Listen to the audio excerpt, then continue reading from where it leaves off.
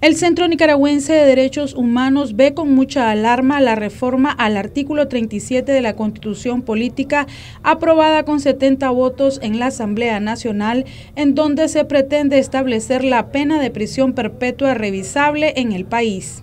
¿Qué significa esta, esta reforma? En primer lugar, lo vemos como un manoseo al instrumento jurídico más importante de cualquier país del mundo.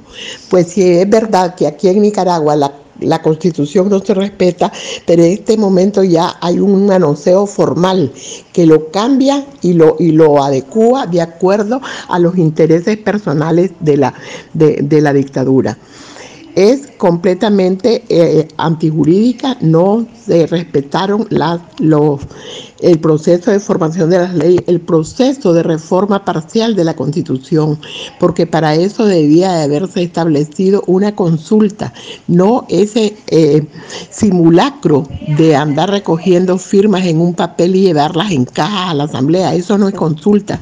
La doctora Núñez dijo que la reforma al artículo 37 de la Constitución Política es antijurídica y contradictoria. En el párrafo primero lo dejan intacto, o sea que establecen que el límite de las penas aquí en Nicaragua es de 30 años.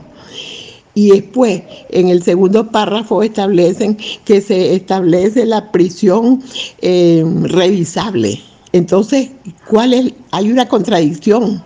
O se deja vigente la, la, la, la, duración de 30 años o se tenía que haber eliminado esa parte y establecer únicamente sustituirlo por decir y decir se este, sustituye el artículo 37 la prisión de 30, de 30 años y se establece la prisión revisable. O sea que hay una contradicción.